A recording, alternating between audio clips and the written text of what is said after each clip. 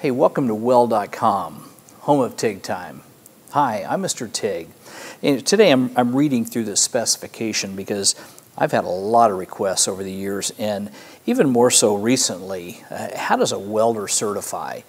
And gosh, there's so many different types of certifications out there, but um, I specialize a lot in, in aerospace type welding.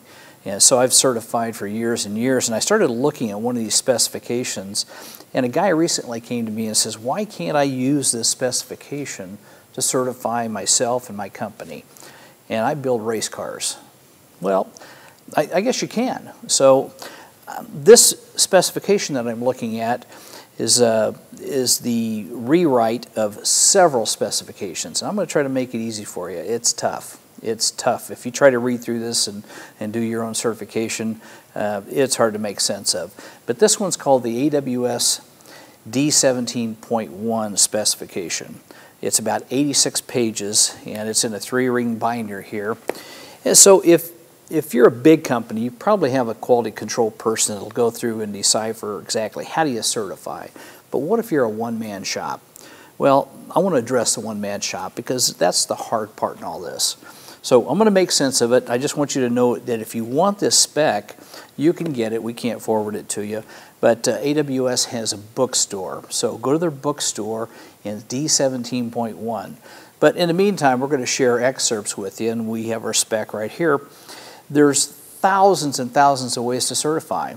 So in, in many cases, you're just going to use common sense, but I want to go down through a few here.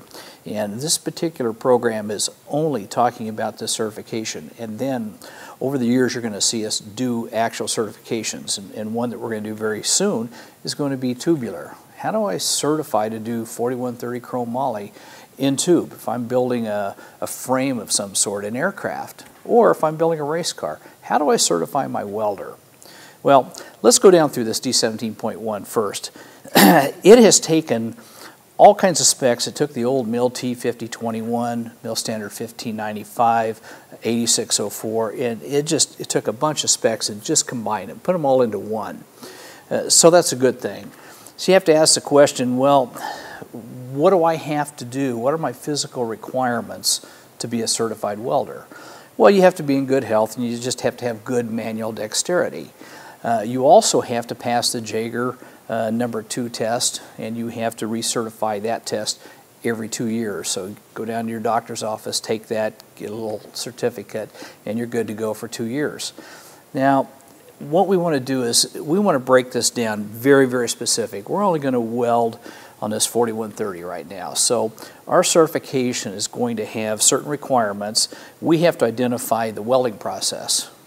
This spec covers everything. So we're going to talk about gas tungsten arc welding. And it's going to be important because you're going to have to fill out a form when it's all said and done. So GTAW is the form that you're going to fill out, and I'll show it to you in a minute. You got to know the base metal. The base metal is 4130 chromoly. Okay, you need to know the thickness. And why? Because that thickness that you weld is going to allow you a certain range that you can weld on your parts. Uh, let's see, it, you have to know whether it's sheet or tubular. If you notice here, I've got two flat sheets. If you certify to flat sheets, that's all you can weld. You can't weld tubular. And tubular gives you a totally different aspect. You can weld kind of out of position because that's the only way you can weld tubular. Okay, uh, so if there's any other conditions uh, that are special, sometimes you have to weld them in heat-treated conditions depending on what your company is, is working on. So those are the basic requirements. Uh, now, once you pass this certification, you're good for two years before you have to do it all over again. Now, there is an exception to that rule. If your company uh, can maintain records and show that you weld on that in a six month period, you can just continue on and on and on and on. And the only time you can be disqualified is if, if your eyesight gives out, if your mechanical functions give out, and you can be disqualified by just about anyone. Quality control, the boss.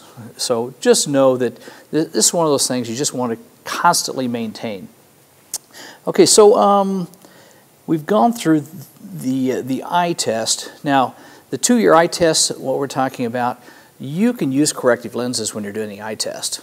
So the only thing is when you pass that test, it's going to say with corrective lenses, and you need to use those corrective lenses when you're welding. Okay, the next thing, the qualification or the thickness range. You have to pick out a thickness.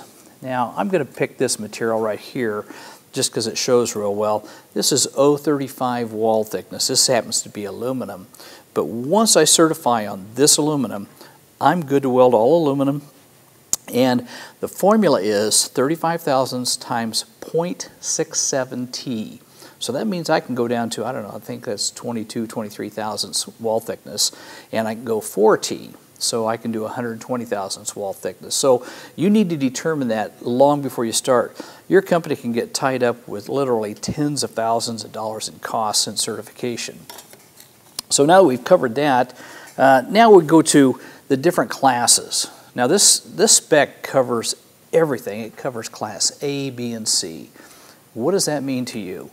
Well, first of all, if you certified a Class A, I can assure you that everything is under a requirement that's very, very stringent. Usually it's rotables or high-stress aircraft parts.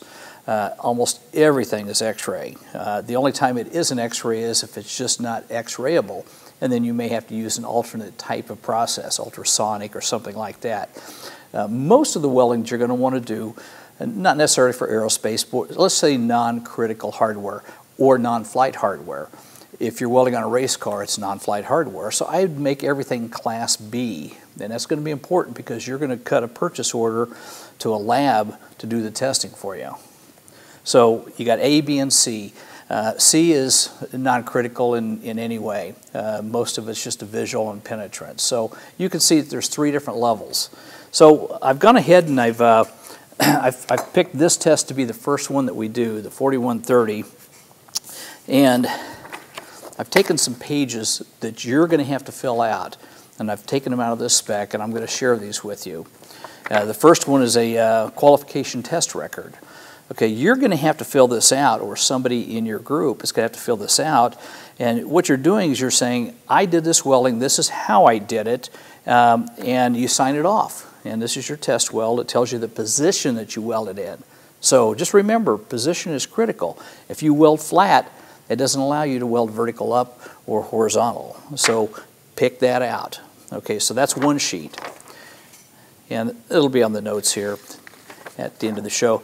Now, the next thing is you got to take a look at the material groups. And I'm going to read these very quickly, but you got a group 1A, 1B, 2A, 2B, all the way down to a group 6. Now, here's what 1A is. It's carbon and alloy steels. 1B is heat treatable alloys. Okay, that's where the 4130 falls in. So we're going to use 1B for our certification. That's in the package. This next one is called a WPS. That's a weld procedure specification. What's critical about this is that you, the operator, need to fill this out and it helps you understand exactly what you're going to do how you're going to do it, what gases you're going to use, what kind of filler, what kind of diameter, and it has all those details on it. Are you going to weld it on AC or DC? Is it aluminum, AC, DC? Uh, what's your voltage? What's your amperage? Now the thing about it is, when you're welding, you can't see. You're using a foot control most of the time. So a lot of that's just a reference. That's in the package as well. Okay, this one here is called a PQR. Um, and this has to be filled out. It's got a visual inspection, a bend, bend test, tensile test, x-ray. This has to be filled out and signed by your lab. Now, if you happen to have a lab in your own company that's certified, great. This is the form that they're going to use.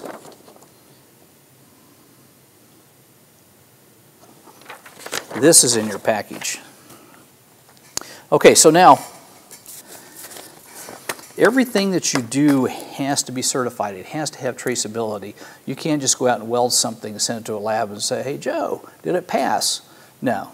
It has to have authorized people buy it off. Your lab or the persons in the lab are qualified. So make sure that you ask them to certify to D17.1. Now, your internal controls should be this. When you order material, you have to know that it's 4130. Now, we've asked a company, and I'm just giving them a plug because they volunteered this for me, a company called AED.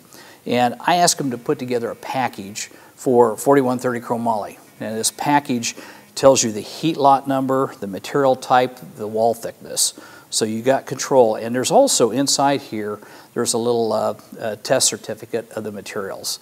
So make sure you have that, keep that into your quality control package. So that's, that's just really a thumbnail of all this. We're going to do literally hundreds of tests and tell you what it qualifies. Okay, now here's the critical part in all this. If you want to certify, if you want to get these metals, you can buy metals and you can cut them and you can miter them, do all the things that you want.